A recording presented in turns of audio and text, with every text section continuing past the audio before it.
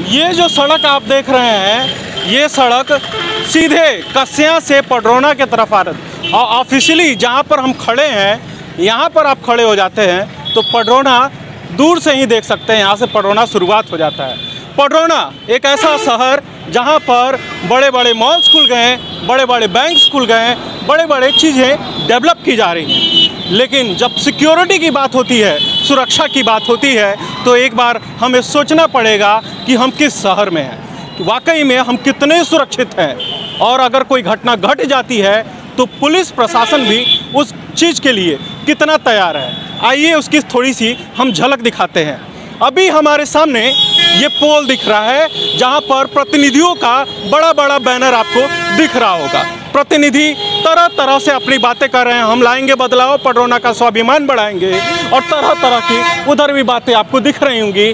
और इन बोर्ड्स के बीच में सीसीटीवी कैमरा भी दिख रहा होगा, जो कि एक लहजे से लगाया गया कि यहाँ पर ये सीसीटीवी कैमरा लोगों की निगरानी करेगा, उन कल्प्रिट की निगरानी करेगा, जो घटना को अंजाम दे सकते हैं। तो उस सीसीटीवी कैमरा जो कि 360 डिग्री भैया घूम घूम कर चारों तरफ़ की वो रिपोर्टिंग करता, जैसे हमारे कैमरा के पीछे जो संदीप भैया हैं, घूम घूम कर आपको तस्वीरें दिखा रहे हैं और हर एक बात सच्चाई आपको पता ही चल, पता चल जाती है। इसी तरह यह कैमरा घूम घूम कर 360 व्यू में तस्वीरें लेता और सच्चाइयाँ उगलता। पूरा यहाँ से कवरेज अगर देखा जाए, ये जो जगह है, इसको तो आप पहचान ही रहे होंगे, ये कटकुइया मोड़ बोला जाता है। कटकुइया मोड़ है, सामने आप देख रहे हैं, और दूसरी तरफ़ आप देखेंगे तो कस्या की तरफ़ ये रास्ता जाता है, और एक रास्ता अंदर मार्केट की तरफ़ चला जाता है। तो यहाँ पर पडरौना की शुरुआत शुरू होती है, और उस कैमरे को देखिए, वो कैमरा इतना ज़्यादा शर्मा गया है, इतना ज़्यादा लजा गया है, कि शायद यहाँ के प्रशासन को वो शर्माहट, वो लजाहट उनके अंदर नहीं है। तो कैमरा अपने चेहरे को मोड़ लिया है दूसरी तरफ़, कि भैया, हम इन लोगों को क्या मुँह दिखाएँ जब यहाँ पर हम तस्वीरें नहीं दिखा पा रहे? तो ये यहाँ की बात हो रही है। हम चलिए पडरौना के अलग अलग जगह जहाँ कैमरे इंस्टॉल किए गए थे। हम उन जगह की बात नहीं कर रहे हैं जहाँ कैमरे लगने ज़रूरी हैं, लेकिन इंस्टॉल नहीं किए गए। लेकिन जहाँ इंस्टॉल किए गए थे, उन कैमरों की क्या स्थिति है, उस पर हम थोड़ा सा आपको नज़र दिखा तो भैया, कैमरे को इंस्टॉल कर दिया गया कि थ्री सिक्सटी व्यू में लोगों की निगरानी करे। यहाँ पर कुछ लोग हैं। अंकल जी ये कैमरा इंस्टॉल किया गया था तो बहुत उम्मीदें रही हुई कि भाई चोर जो भी वगैरह हो गए सब कल्प्रिट वगैरह होंगे उनको निगरानी करने में उनको पकड़ने में आसानी होगी। जी। तो ये कैमरा अभी तो दूसरे तरफ़ मुड़ गया है ऐसे जगह मुड़ गया है। लगता है कि वो शर्मा के अपने मुँह को छुपा लिया है। यहाँ पर प्रशासन की जो लापरवाहियाँ दिखी है उसकी वजह बहुत अच्छा मुद्दा आपने उठाया है इसके लिए आपको धन्यवाद। नगर का सबसे व्यस्तम चौराहा ये कटकुया मोड़ है। सुबह से रात तक यहाँ ट्रैफ़िक का इतना भारी दबाव होता है। आए दिन छोटी बड़ी घटनाएँ यहाँ घटती रहती हैं। बिल्कुल।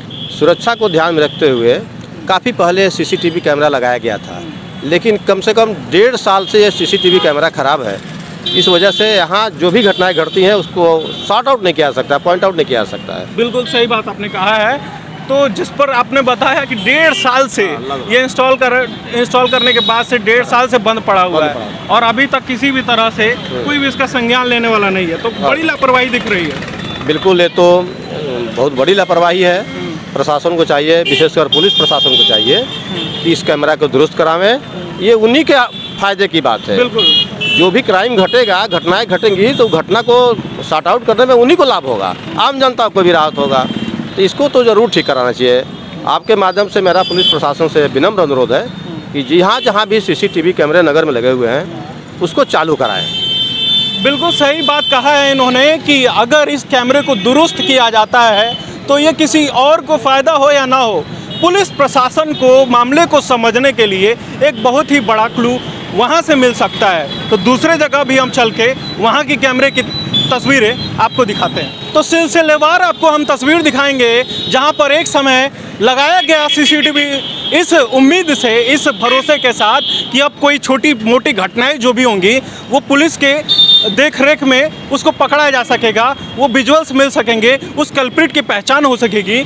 लेकिन स्थिति देखिए जनाब, हम इस वक्त में सबसे व्यस्ततम जगह में पडरौना के सबसे व्यस्ततम जगह पर खड़े हैं सुभाष चौक पर, जहाँ पर सुभाष चौक पडरौना की दिल कही जाएगी, हृदय कहा जाएगा। यहाँ भी आप तस्वीरें देखिए कि सीसीटीवी दो दो इंस्टॉल करा गया है। दो भाई साहब कि मतलब 360 व्यू और 360 मल्टीप्लाई बाई टू उतना सिक्योरिटी सिस्टम है भाई। लेकिन आप तस्वीरें देखिए कि यहाँ पर दो दो जो सीसीटीवी लगे हुए हैं, एक का जो कैमरा है, वो नीचे की तरफ़ मूव किया गया है और दूसरा एक तरफ़ किया गया है, लेकिन वो मूवेबल नहीं है, यानी कि वो चालू नहीं है। तो इस स्थिति में आप खुद सोचिए कि आपके इस सुभाष चौक पर कोई घटना घटती है तो अगर प्रत्यक्ष प्रत्यक्षदर्शी अगर कोई सामने नहीं आता है तो इस कैमरे से क्या फुटेज निकलेगा? ज़मीन का फुटेज निकलेगा या फिर एक ब्लैंक फुटेज निकलेगा? उस आधार पर क्या पुलिस इन्वेस्टिगेट कर पाएगी? ये सवाल खड़ा करते हैं हम। तो ये सुभाष चौक की तस्वीर है। सुभाष चौक, जो कि पडरौना की जान है, शान है, यहाँ पर सुभाष चंद्र बोस की मूर्ति स्थापित है और यहाँ पर कही जाती है कि यहाँ पर कोई भी किसी तरह के घटना को अंजाम देगा तो उसकी पहचान इस कैमरे के माध्यम से तो नहीं हो सकती है। तो कितनी बड़ी लापरवाही ये है और ये एक समय से नहीं है। हम इंतज़ार कर रहे थे कि इस कैमरे की रिपेयरिंग आगे चलकर कहीं हो, फिर आगे चलकर कहीं हो, लेकिन लगातार इतने दिन तक हमने देखा ये कैमरे निष्क्रिय पड़े हुए हैं। तो हमारी नैतिक ज़िम्मेदारी हो गई कि हम रोज़ इस जगह से गुजरते हैं।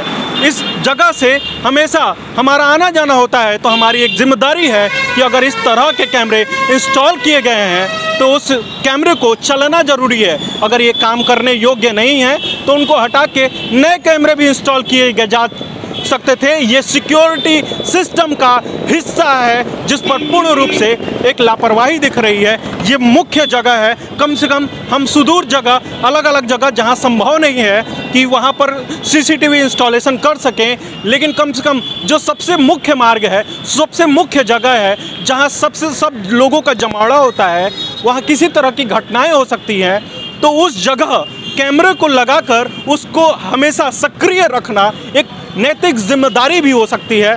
हम बड़ा सवाल यहाँ पर खड़ा करते हैं। तो ये सुभाष चौक का है और और अंदर चलते हैं और दिखाते हैं वहाँ की तस्वीरें क्या दिखती हैं। अब भैया, कोतवाली के सामने अगर कोई घटना घट गट जाती है ना तो कोतवाली के जितने अधिकारीगण हैं, उनको एक बार अपने कैमरे तो दिखेंगे नहीं, क्योंकि कैमरे बंद पड़े हुए हैं। वहाँ पर आप देखेंगे तो बोर्ड से पीछे एक कैमरा छोटा सा झांकता हुआ दिख रहा है क्योंकि पूरा बोर्ड ने उसको घेर रखा है। ऊपर भी बोर्ड, नीचे भी बोर्ड, शायद इन्हीं की निगाहें जो हैं, वो पडरौना के लोगों की रक्षा कर रही हैं। तो आप देखेंगे तो दूसरे किसी के कैमरे, यहाँ पे लोकल दुकानदार हैं, भाई अपनी सिक्योरिटी अपने हाथ। तो भाई अपन अपन व्यवस्था करके लोग कैमरा लगवा ले महँगा महँगा। लेकिन अगर खुद ही कोतवाली के फुटेज की ज़रूरत पड़े तो इन्हीं लोग को जाना पड़ेगा उस दुकानदार के पास और उसके फुटेज को खंगालने की कोशिश की जाएगी, क्योंकि इनका खुद का अपना जो कैमरा इंस्टॉल करा गया है, उसकी स्थिति ये है कि वो झाँक ही रहा है छोटा सा और वो सिर्फ़ उसमें जान प्राण बचा नहीं है, वो खाली एक बॉडी पड़ा हुआ है वहाँ पे। तो भैया, किस तरह से लापरवाहियाँ ही हैं कि अब हम क्या कहें कि आसपास जब खुद ही सिक्योरिटी सिस्टम नहीं है तो सोचने वाली बात ये मजबूरी भी हो सकती है पुलिस की कि शायद इस तरह से स्कीम्स नहीं मिलते होंगे, जिस तरह से ठेकेदारों को और जिम्मेदारों को मिल जाते हैं। शायद प्रशासन में उस तरह से चीज़ों को कार्रवाई नहीं की जाती होंगी तो एक मजबूरी भी हो सकती है, लेकिन कहीं ना कहीं एक बड़ी, एक लापरवाही हो रही है, जिस चीज़ से पुलिस की मदद हो सकती है, उससे दरकिनार करके जैसे मन करे वैसे सिस्टम सिस्टम चल रहा है। अब चलिए, तिलक चौक चलते हैं। तो भैया, ये तिलक चौक है। तिलक चौक एक ऐसा बाज़ार है जहाँ पर सारी चीज़ खरीदारी आप कर सकते हैं पडोना में। तिलक जी की मूर्ति भी यहाँ पर है, जो प्रमाण देने के लिए तैयार है कि भाई ये तिलक चौक ही है। तिलक चौक पे यहाँ पर जो हमारी उंगली अगर दिख रही होगी तो इसके सिधाई में आप देखेंगे, और तो आपको एक स्टैंड सा दिख रहा होगा सफ़ेद में। वहीं पे उसके अंश पड़े हुए हैं। तो ये जगह है जहाँ पर कैमरे को इंस्टॉल किया गया था। लेकिन वो कैमरा कहाँ है, ये कहीं दिख ही नहीं रहा है। आपको दिख रहा है क्या? हमको तो कहीं नहीं दिखा और आसपास कहीं कैमरा नहीं दिख रहा है। तो यहाँ पर कैमरे इंस्टॉल किए गए थे। इस उम्मीद में कि यहाँ पर छोटी छोटी जो भी घटनाएँ घटेंगी तो उसका अगर कोई प्रत्यक्षदर्शी तैयार नहीं होगा तो हम कैमरे के माध्यम से निगरानी कर सकेंगे। निगरानी अगर कोई घटना घटनी होती है पडरौना में अगर हो जाती है तो अगर उसका साक्ष्य कहीं से जुट पाए तो वो देखा जा सकता है। तो कहीं ना कहीं दिख रहा है दिख रहा है शानदार रिपोर्टिंग कर रहे हैं हमारा कैमरा दिख रहा है। कैमरा इधर लगा हुआ है। कैमरा हमारे कैमरे को ही कह रहे हैं। तो ये तिलक चौक की तस्वीर आप देख रहे हैं। तिलक चौक पर हम चारों तरफ़ अगर देखेंगे तो जो कैमरा इंस्टॉल करा गया था, वो तो वह उस जगह से हटा दिया गया, लेकिन नया कैमरा फिर से इंस्टॉल नहीं किया गया है। और देखिए किस तरह से चीज़ें हैं। हम इस अंक में तो ये दिखा रहे हैं कि कैमरा कहाँ कहाँ इंस्टॉल था, और वो कैमरा की स्थिति जो है, वो हम आपको दिखा रहे हैं। हमारे रिपोर्ट में आपने देखा कि जहाँ भी कैमरे इंस्टॉल किए गए थे, चाहे कारण जो भी रहा हो, अब कैमरे संचालित नहीं हैं या सक्रिय नहीं हैं।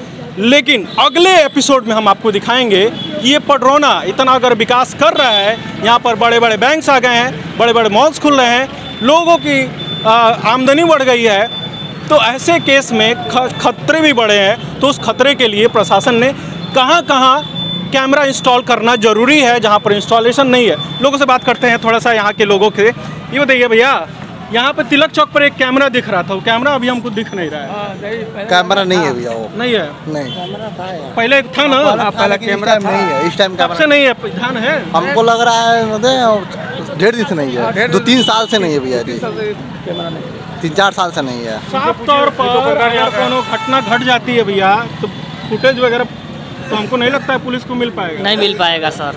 सही बात है। यहाँ पे लगा था दो तीन साल पहले हाँ। अभी हट गया नहीं दिखाई देता है। तो बड़ी लापरवाही दिख रही है कि नहीं? एकदम लापरवाही कैमरा होता तो लोगों को भी लापरवाही तो दिख रही है। कैमरा था तो यहाँ पे बहुत अच्छा लगता था। हर एक चीज़ तो हमारी गाय भी चोरी हो गई। हाँ। इसी पर पिकअप गया अभी तक मिला नहीं। कुछ सुरागे नहीं मिला जब कैमरा ही नहीं है तो।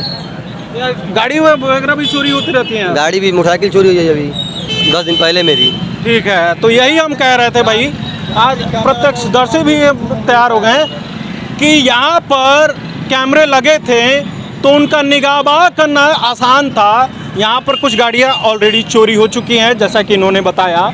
और ऐसे में अगर विजुअल्स निकल सकता तो पता चला चल सकता था कि किस व्यक्ति द्वारा उसको, उस कैमरे को हटाया गया है। यहाँ पर कहाँ पता लगेगा? जब कैमरा रहता है तो आदमी कुछ दिखाई, कोई कोई घटना हो सकता है तो उसमें ज़रूर आएगा।